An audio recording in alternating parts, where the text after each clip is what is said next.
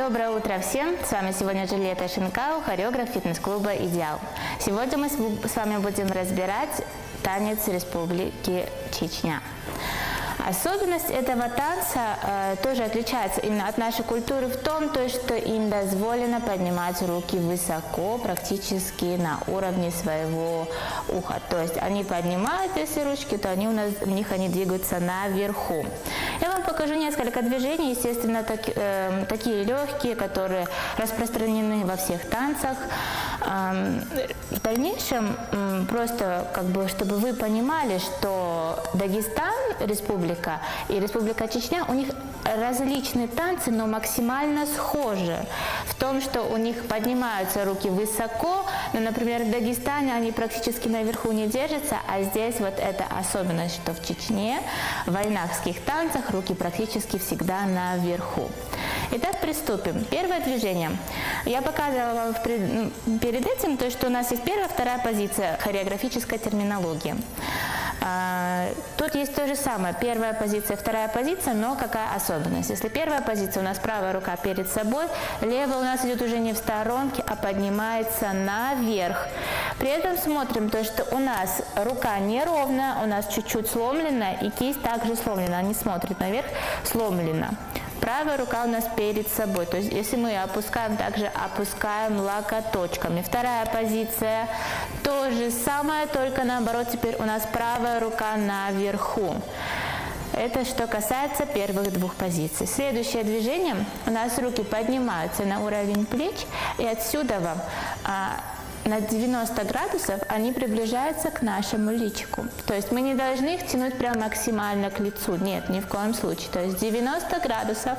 При этом мы смотрим, то, что наша кисть обязательно должна быть сломлена. Мы ее ведем одновременно обе руки. Раз, два, три, четыре, пять, шесть, семь, восемь. Раз, два, три, четыре, пять, шесть, семь, восемь. Пожалуйста, обратите внимание, что когда я руку возвращаю назад, у меня локоть не свисает, я его держу на одном уровне. И она у, нас, у меня практически всегда на одном уровне находится. Легкое колебание возможно, но следите за тем, чтобы ручки у вас не были прям совсем внизу. Еще раз покажу. Раз, два, три, четыре, пять, шесть, семь, восемь. Раз, два, три, четыре, пять, шесть, семь, 8. Следующее движение. Что происходит? Мы поднимаем также руки на уровне плеч.